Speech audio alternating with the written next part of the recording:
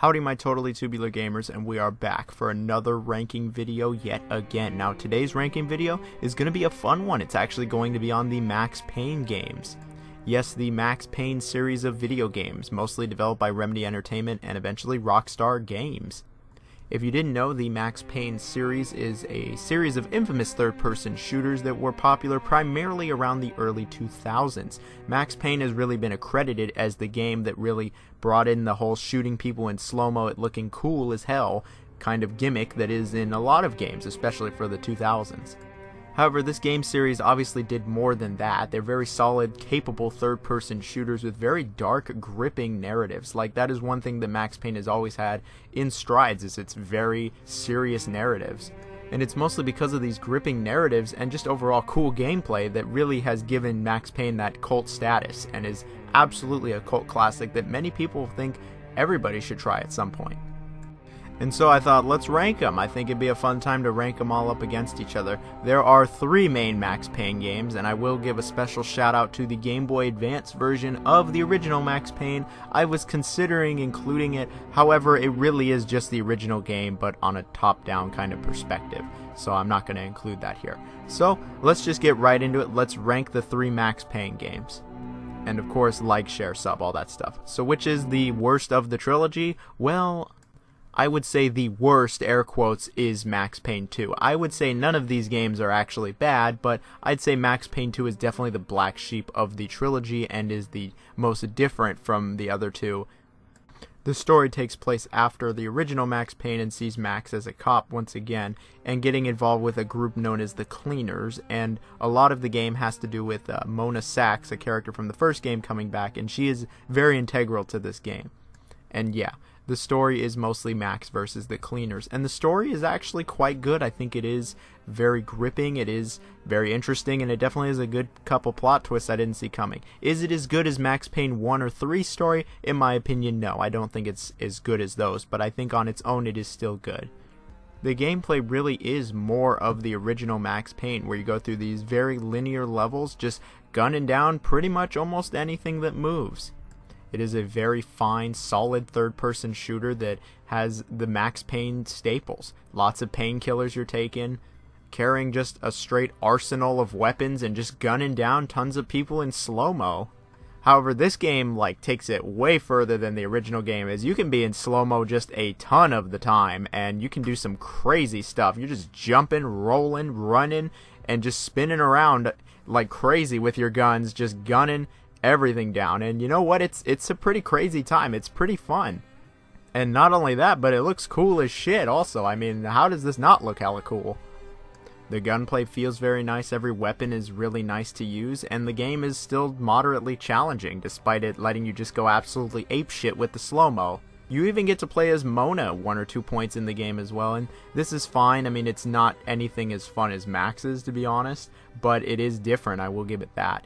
Something that does keep the game from being as good as the first or third one, in my opinion, is the game's length. Unfortunately, the game is maybe four hours long. I finished it in like about four hours, maybe three and a half even. Like, it really isn't that long of a game, and I think that the story honestly wraps up just too quickly. I think it could have gone a lot more in depth, and I think that the game overall should have been a bit longer considering how much fun it is to just gun everything down. I mean, at least it's really replayable being that short, but I think it ultimately does suffer a little bit from just being just a tad too short. I mean, it's as long as like a really long movie. I'd still say Max Payne 2, really fun game though. And I think the second best of the three Max Payne games is Max Payne 3, the latest in the Max Payne games. Now, Max Payne 3 really decided to take a few different turns from Max Payne 1 and 2, as this was developed by Rockstar and not Remedy Entertainment. For starters, the story is a lot more in depth. There's a lot of cutscenes in this game, a lot of voice acting. The comic book style of the original game is gone. The game is a lot longer, and the game actually featured multiplayer that was played pretty regularly, at least when it came out. The gameplay, though, was pretty much what you've come to expect from Max Payne, but with some modern touches. You could obviously take cover, but a lot of the game was still running around in bullet time trying to kill everyone and just trying not to be gunned down yourself, taking lots of painkillers, tons of weapons that you're just destroying these dudes with, and the occasional set piece that makes for a really engaging time. Max Payne 3 really has two parts to it. It has the part where Max is dealing with his past, so a big part of the game does take place in the past, and that was always a big part of Max Payne was him dealing with his past, and the other takes place in modern day, or at least modern day 10 years ago. This sees Max going through a legit midlife crisis as he's retired from being a cop. He shaves his head bald and he goes to be a private like security contractor in South America. And well, he fucks up a lot and has to kill a lot of people. And I'll just leave it at that. I think the story is actually very well done. I don't think it's as good as the original Max Payne story, but I think it is a little bit better than the second games. I think they really understood what made Max Payne Max Payne, especially when it came with the story, and I think that the way he copes with his past is a lot more believable than it was in the first two games, and it's not to the point where it's almost like a comic book, and it's definitely got that Rockstar influence on it. It certainly has that Rockstar production values as the game still looks amazing. The voice acting obviously is amazing. The soundtrack is great. Everything is just very top quality when it comes to that, and it still looks amazing and plays amazing today. The game is still challenging and the gunplay is still just as excellent as it always was. And I remember playing this back when it came out, and you know what, even all these years later, still very accessible, very easy to come back to, and is still a great shooter. Like, nobody's going to deny that Max Payne 3 is not a fantastic shooter. The game is also the longest of the Max Payne games, however, I will say that this is a bit of a cheat because unfortunately you can't skip the cutscenes in Max Payne 3, which really decreases the replay value in my opinion as there's a lot of moments in this game that are very story heavy, very like narrative driven, and if you've already seen it, you kind of just want to get to the part where you're just killing everybody and this game doesn't really let you do that. It makes you go through the story every single time. So that's definitely a detriment. That and some of these whack ass filters. Like, what the hell is this shit? What is this, 2010? Well, yeah, it is, but still, if you're looking for a violent, gory, dark narrative focused third person shooter, it doesn't get much more than that with Max Payne 3. That's for sure. And so it's pretty obvious here, but the best of the Max Payne games, I think, is the original Max Payne. I think the original Max Payne just did everything so right. I think the original Max Payne is the best story, and I think it has the best gameplay and the perfect length for the Max Payne games. I'd argue it's one of the finest third person shooters just ever created and is one of the best games of the 2000s. Like, nobody's going to deny that. With a really ambitious, huge plotline for the time that this game came out, especially for a shooter, no doubt. It stars Max going through a lot of shit.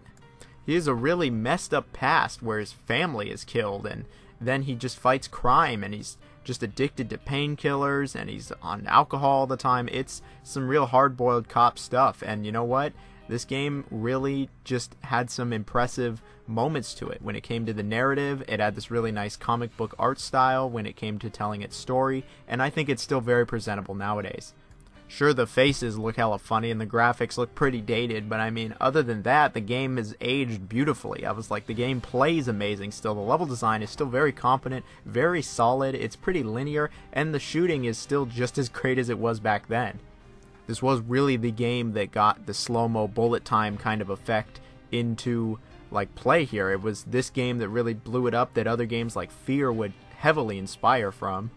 And there's a reason for that because it's just really cool. Like, not only does it look cool as shit, it's really fun to just go around killing these dudes in slow mo, seeing them die in agony. And the gunplay in general is very solid. You're taking tons of painkillers. The game is challenging. Like, that is one thing I can say is it's still challenging even to this day. And some of the set pieces that are in this game, I think, are very powerful. And this game has some really powerful imagery, especially for the time. Like the nightmare sequences, like from the original Max Payne, like, god damn, man, this is some deep, heavy shit. Like, lots of games don't even go near this ter- territory, like, even nowadays. But this game was doing it back in the early 2000s. Like, damn, this is this is heavy and I have a lot of fond memories with the game. I think the game is at the perfect length of around five or six hours. It doesn't go on too long, and really, it's just like it's just a really almost cinematic experience that was great for the time and is still great nowadays, which really shows just like how well a game actually is. As if it, you can come back to it 20 years later and it's still just as good as it was then. Like that's that's a powerful game. And anyway, that was it for my ranking of the three Max Payne games. I really just wanted to talk about these games, honestly, as I, I feel like nobody's really talked about Max Payne in the last couple years, and I mean, I'd love to see another one, but who knows? I mean, we got that shitty movie. Ah, oh, well. Anyway, that was the Max Payne games. Really just wanted to talk about Max Payne, so that's why I did this video. If you got anything to talk about Max Payne, tell me in the comments. Otherwise, have a great day, everyone. See you later.